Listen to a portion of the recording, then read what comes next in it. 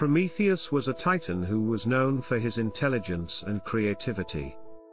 He was said to have created humans out of clay and then stole fire from the gods to give to humanity, which gave people the power to keep warm, cook food, and create new technologies. Zeus, the king of the gods, was angry at Prometheus for giving away the fire and decided to punish humanity by giving them a gift in the form of a beautiful woman named Pandora.